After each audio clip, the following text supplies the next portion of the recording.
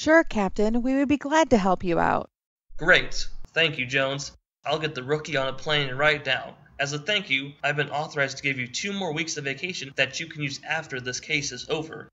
Thank you, Captain. I'll head over and pick up Rookie from the airport.